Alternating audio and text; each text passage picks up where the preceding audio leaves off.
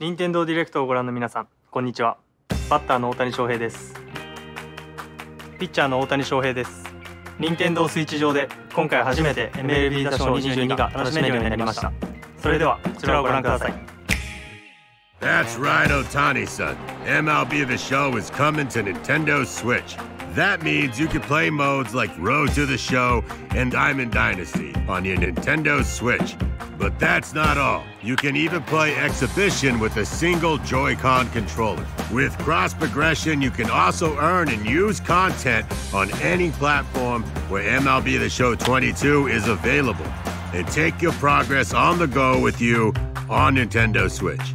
Have friends that play MLB The Show 22 online matches on other consoles? No need to worry. You can invite them and play online.